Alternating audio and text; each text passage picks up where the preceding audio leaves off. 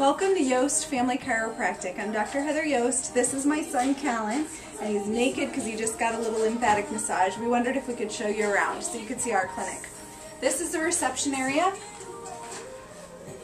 We see a lot of kids around here, so we have a children's room, we have a rocking chair, as well as a children's adjusting table, and a coloring station. Those are just some of the kids that we check and adjust up in the wall.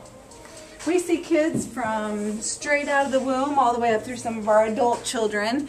Um, I think our 92 years young is our oldest right now. So this is our traditional adjusting space. We've always kept the adjusting space nice and open because we see a lot of families and a lot of kids.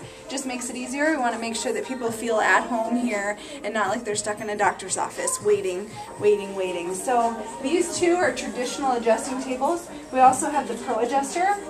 It's technology that allows us to take away any turning, twisting, popping, or clicking, so there's different options as far as adjusting goes.